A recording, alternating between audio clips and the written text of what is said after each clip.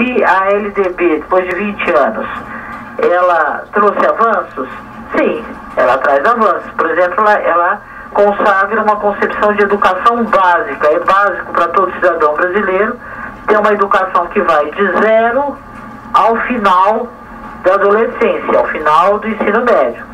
Mas a LDB em si garantiu isso? Não, ela não garantiu. Ela não garantiu. A emenda constitucional número 53 de 2006 garantiu os recursos necessários para isso começar a ter vigência. É? Então, mas, a, mas isso só foi possível porque a LDB estava lá com esta possibilidade. Não adianta a gente discutir um direito é, esfacelando esse direito em partes. Para eu ter um direito à educação, eu preciso ter profissionais formados que atendam a esse direito. Profissionais, no caso da educação, são professores.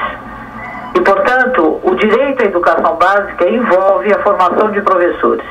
E a formação de professores com qualidade, e não em faculdades de esquina.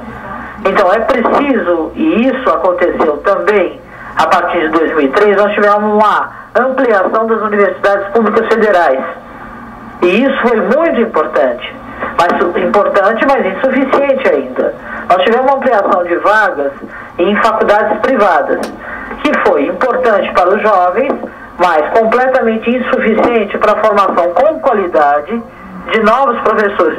Os jovens precisam de liberdade. Liberdade não é só para aqueles que têm helicóptero. Liberdade para todos, em igualdade de condição. Então a LDB e a Constituição de 88 acenaram com esse direito. Eu acho que a gente, a emenda a emenda constitucional 53 que criou o Fundeb, foi nessa direção.